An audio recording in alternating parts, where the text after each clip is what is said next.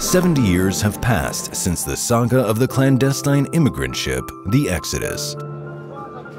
There is perhaps no greater symbol of the devotion of the Jewish people to their homeland than the heroic story of the ship Exodus, which in 1947 sailed from France with 4,515 survivors of the Holocaust in an attempt to break through the British naval blockade and to reach Eretz Israel.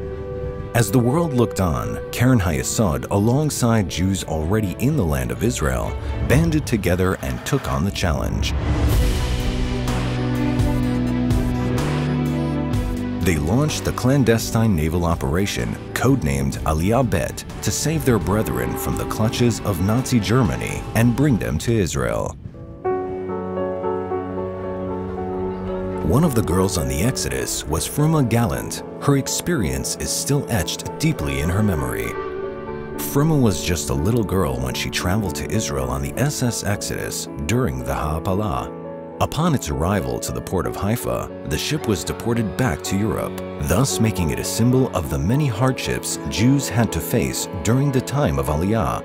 ראינו את אוניות הבריטים, המשחטות שלהם, מסביב כמו דגי טרף כל הזמן.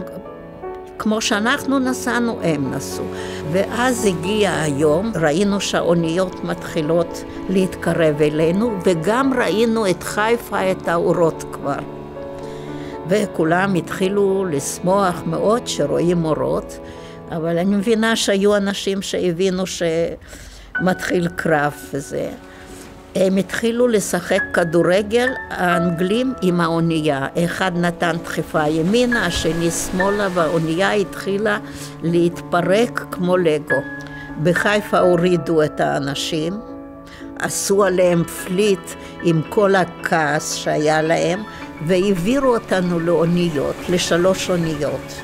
זו הייתה אוניית אסירים, הם זרקו את כל התרמילים. אנשים נשארו כמו שעלו, בלי בגדים, בלי שום כלום. Undeterred, the overcrowded, unseaworthy vessels of Aliyah Bet continued to challenge the blockade. Young Jewish fighters, aided by non-Jewish sailors, succeeded in bringing more than 70,000 Jews home to the land of their forefathers in more than 100 vessels. Those who made it ashore were swiftly smuggled into the future Jewish state by daring activists from Keren Hayesod and elsewhere. Evading capture, the new arrivals were taken to kibbutzim and other new communities to live as free Jews in their own land, fulfilling the dreams of countless generations before them. The story of the Exodus is one of the most notable chapters in the history of the rebirth of Israel and a remarkable symbol of Keren Hayesod's involvement in achieving it, as depicted by the story of Fruma Gallant.